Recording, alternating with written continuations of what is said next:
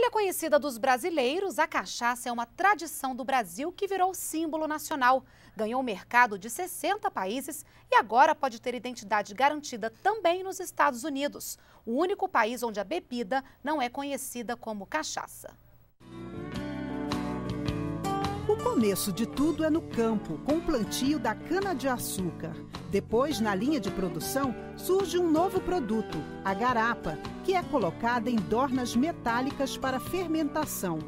36 horas depois, o caldo passa para estes alambiques de cobre. E o produto final é a velha e boa cachaça. Alguns preferem pura, outros com limão. O mais importante é que a bebida é tipicamente brasileira e já virou produto de exportação.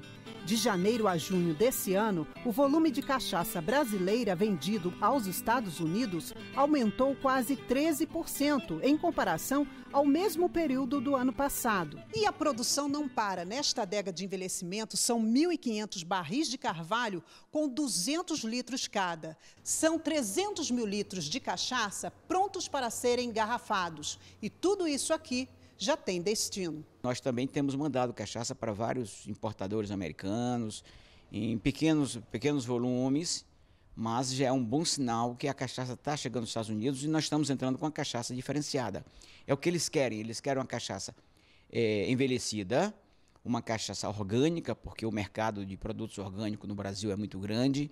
Nós já temos uma, certificação dentro do Ministério da Agricultura dos Estados Unidos e junto à União Europeia. E essa certificação é que nos dá credibilidade a entrar nos Estados Unidos. Atualmente, a bebida é vendida em mais de 60 países com o nome de cachaça. Apenas nos Estados Unidos, ela é rotulada como rum. Produtores brasileiros entraram na justiça americana e ganharam o direito de comercializar a cachaça com o nome original e esperam um acordo para que o produto seja finalmente reconhecido como tipicamente brasileiro. Cachaça é uma bebida que ela sempre teve ligada com a história do Brasil. Durante vários momentos históricos a cachaça teve presente. Eu acho que primeiro esse reconhecimento representa o reconhecimento da identidade brasileira nos Estados Unidos. Segundo, é, a garantia de que somente os produtores brasileiros poderão utilizar a denominação cachaça nos rótulos.